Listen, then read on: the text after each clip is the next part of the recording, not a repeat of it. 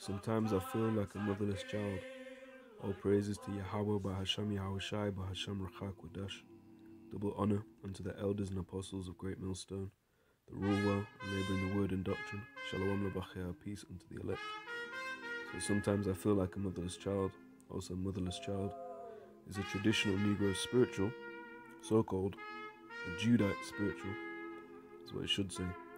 It dates back to the era of slavery in the United States, and early performance of the song dates back to the 1870s by Fisk Jubilee singers, commonly heard during the civil rights movement in the United States, has many many variations and has been recorded widely.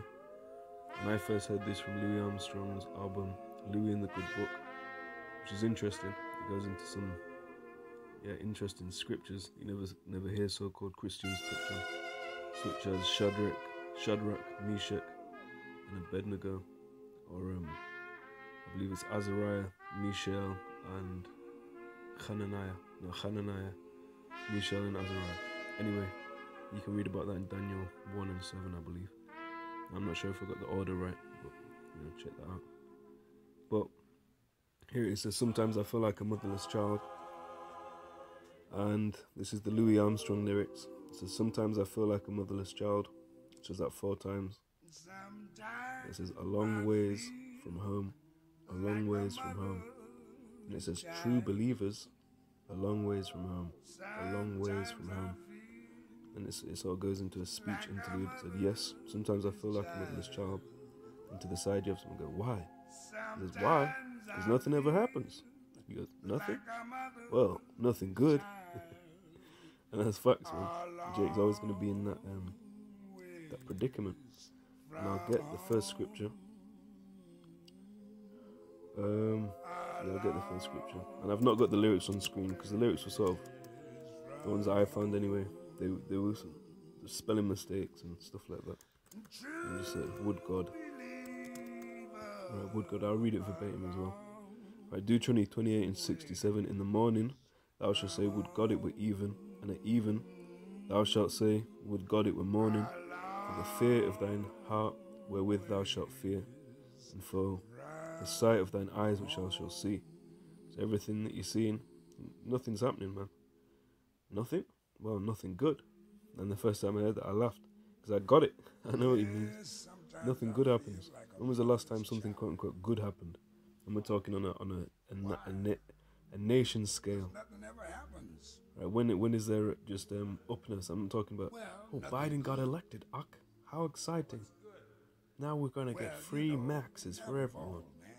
But nothing happens when nothing good. He says. No man. He says, well, nothing good. And the guy goes, so what's good? He goes, you know, they have a ball, man. He goes, you sick? No. He goes, you hungry? He goes, no, man. I just had myself a whole mess of black eyed peas and rice. And he goes, long, long way. He goes, I did. I am a long ways from home. But things could be worse. Sure could. And that's facts. If we didn't have hope, if we didn't have the, um, yeah, that hope to be a prisoner of hope for the redemption, let me search that in uh, Zechariah 9 and 12. For the hope of Yahweh Shai, then what, what really would we have, man? Nothing. And all we've got on this side is our faith. That's what you, that's what you have to stress. That's what we have to stress. Zechariah 9 and 12. Turn you to the stronghold, ye prisoners of hope. Even today do I declare that I render double unto thee. And also you have, um, I believe it's Philemon. Philemon 1 and 1 at least. No, that's Philippians. How do I get um how do I get Philemon? Right, Philemon one and one. And it says Paul, a prisoner of Yahweh Shai HaMashiach, and Timothy our brother, and to Philemon, our dearly beloved and fellow laborer. So Paul was bound, let's look at that word for prisoner. Strong's G eleven ninety eight, Desmios. Desmios, which is bound in bonds, a captive, a prisoner. Then the King James, it's prisoner 14 times, being bonds once, in bonds once. So we have to be bound. Although we're bound to this man, there's going to come a time where no longer stay on him that smote him. Search that out. Isaiah 10 and 20, and it shall come to pass in that day that the remnant of Yasharallah and such as are escaped of the house of Yaquab shall no more stay upon him that smote them, which is Esau Edom, but shall stay upon Yahweh, the Holy One of Yasharallah, in truth. We have to be in truth, operate in this truth. Now, on to through again. Sometimes I feel like a motherless child. Well, why is that? Because a falling away came. Right, there had to first be a falling away. And that's uh, Second Thessalonians 2. Alright, this is um Second Thessalonians 2 and 3. Let no man deceive you by any means, for that day shall not come, except there come a falling away first. The, the deliverance of Yahweh Shem Yahushai upon the elect, uh, upon his elect, would not happen unless there was a falling away first. That man of sin be revealed, the son of perdition. I believe I've got a lesson titled Falling Away First, Falling Away. And it's up, it's still up to my knowledge. But the falling away is primarily 70 AD, you know, falling away from our land. And then from there, everything else, the customs, the law of life was given unto us for a heritage. It all fell away.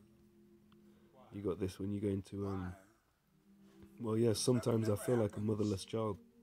Or what can we interpret that as? Knowing well, this truth. Galatians 4 and 26, but Jerusalem, which is above, is free, well, you know, which is the mother of us all. So when we fell away, we are motherless children. Sometimes I feel like a motherless child. A long ways from home. A long ways from home. Why is that? Because we're scattered. If I just put in scattered, let's see what comes up. I did. I am a long ways from home. It's the first scripture that's relevant in terms of what we're talking of. Deuteronomy 30 and 3 that then Yahweh Alahaika will turn thy captivity and have compassion upon thee and will return and gather thee from all nations where Yahweh Alahaika hath scattered thee. So we're scattered and we're not in our land. we we've become a motherless child. Sometimes we feel like a motherless child, a long way from home. Right? If you imagine, if you calculate the, the mileage from our homeland into Babylon the Great, into England, or wherever you've been scattered, Africa, you might have been scattered quite close. You're still a long way. If you if you haven't ear to hear, and we're a long way from from our initial state. You know, we're stumbling in the way from our ancient path. Now, a long way from home in that way. It's not saying the Lord's going to take ages and ages to come. But we're just so far away from what we used to be, from our home before our falling away. And when we're at one point respectable, you know, uh, uh, worthy of the title of Yasharala? Really being those princes of the power. Now, a lot of, of course, pretty much all the kings of Judah were defective, save who?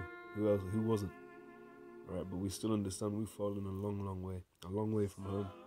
And then it said true believers, a long way from home. And that reminds me of the idea we also, we always, forgive me, not also, we always go into the idea of what, well, what is a Christian? Right, and we'll say the true Christians, right, the true believers are the Israelites who recognize their nationality and believe on Yahushua as the scripture hath said. And they're the true believers a long way from home those holding the faith, wherever we've been scattered, a long ways from home. Acts chapter 11 and verse 26. And when he had found him, he brought him unto Antioch. And it came to pass that a whole year they assembled themselves, themselves with the church, and taught much people. And the disciples were called Christians first in Antioch. Right, so that is where the, the first, the label, and we'll go into that in the um, in the actual Greek.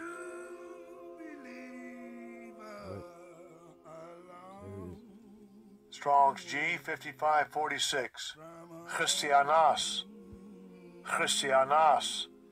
Yeah, it says here, Christian, a follower of Christ. Now we know that to be a follower of Hamashiach, Christ.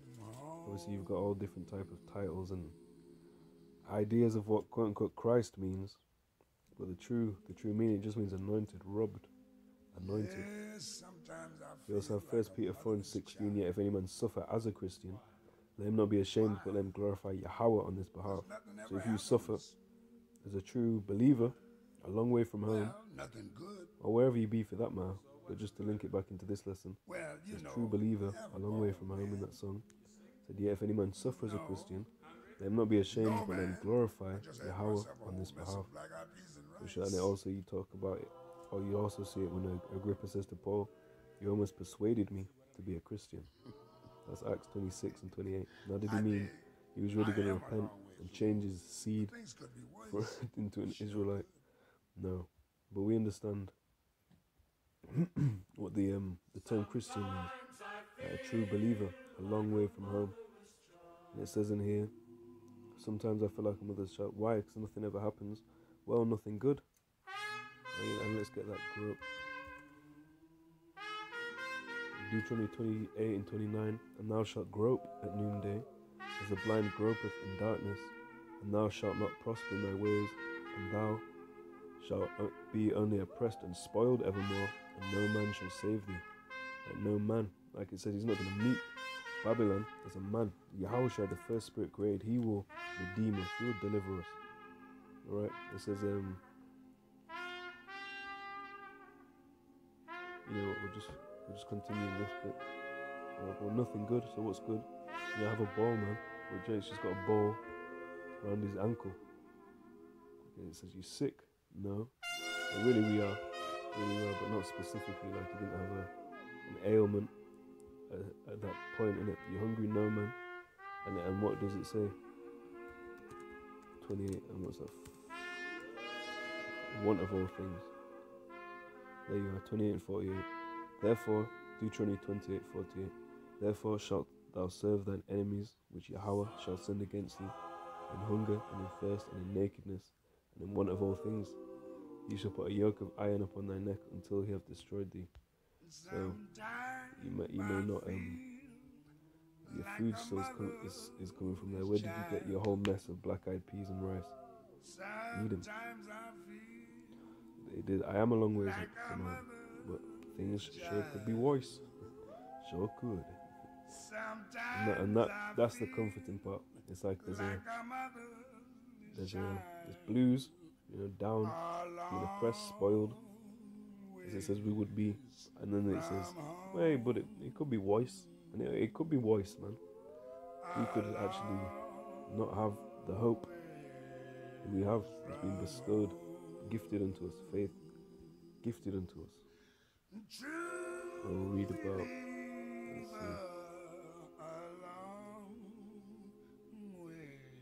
Let's see. We get that Micah 4 and 1. But in the last days it shall come to pass, the mountain of the house of Yahweh shall be established in the top of mountains of the mountains, and it shall be exalted above the hills, and people shall flow unto it. So our kingdom is going to be beautiful, man. Never mind a motherless child on this side.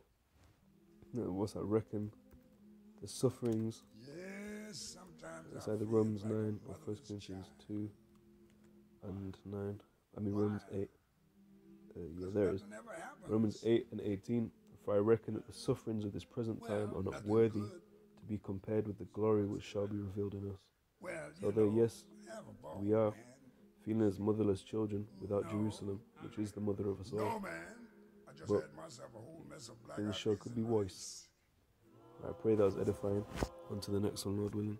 All praises to Yahweh, Bahasham Yahweh Shai, Bahasham Racha Kodash.